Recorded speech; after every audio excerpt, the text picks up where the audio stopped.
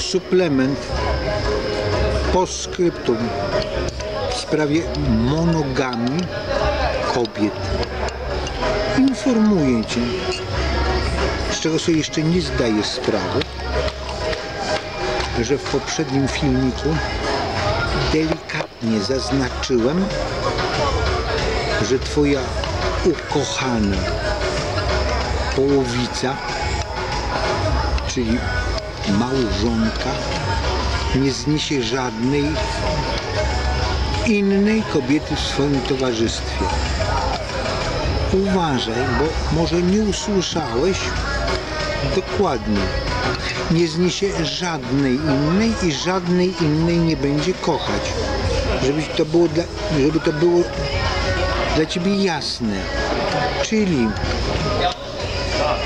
jak ci się urodzi dwójka dzieci, Jaś i Małgosia, to pamiętaj, Jaś będzie mami synkiem, będzie ukochanym oczkiem w głowie mamusi. Natomiast Małgosia będzie będzie ledwie tolerowaną postacią w rodzinie, ponieważ ty będziesz kochał swoją córeczkę nad życie, czyli ogromną część miłości odbierzesz swojej żonie i ona się nagle poczuje ciężko zagrożona. Czym ciężko zagrożona? No wszystkim. No bo będziesz gotów swojej córeczce cudownej, kochanej kupić niebieską sukienkę. Za czyje pieniądze? Za pieniądze żony. Uważaj.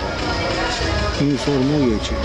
Ja wiem, że większość, większość społeczeństwa w tej chwili by mnie udusiła i zamordowała, że to nie jest prawda. I dlatego przez wiele lat tego nie mówiłem. A teraz, teraz mogę powiedzieć, że, że mi się coś pokręciło w głowie.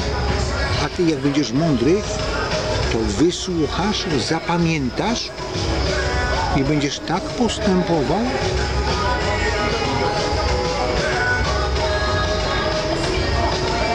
żeby twoja ukochana córka była najszczęśliwsza na świecie. Czyli nie będziesz jej komplementował w obecności matki. Uważaj, to jest cholernie ważne. Ja wiem, że teraz za wcześnie na razie, jeszcze dla ciebie. Bo na razie to, to jeszcze nie planujesz dzieci. Kochany, dzieci się nie planuje. One same przychodzą na świat. Same, bez żadnego planowania. Dlatego planowanie to wiesz, to planowanie rodziny, tak człowiek te hmm, używa środki antykoncepcyjne. To jest planowanie rodziny. Znaczy jak przestanie planować, to one się pojawiają tak czy inaczej. No. Jak nie twoje, to inne. Nie przejmuj się, ale pamiętaj, nigdy, nigdy nie powiedz czegokolwiek pozytywnego jakiejkolwiek innej kobiecie w obecności twojej żony. Pamiętaj, jak co? To tylko i wyłącznie krytyka. A wtedy twoja ukochana żoneczka jakoś da się udobruchać. I dlatego proponuję ci. Słuchaj mnie, ale nie powtarzaj tego głośno w żadnym razie swojej żony. I to możesz mieć nie tylko kupę nieszczęścia, ale to, co one tak lubią, czyli najwyższą formę kary, szlaban na łóżko.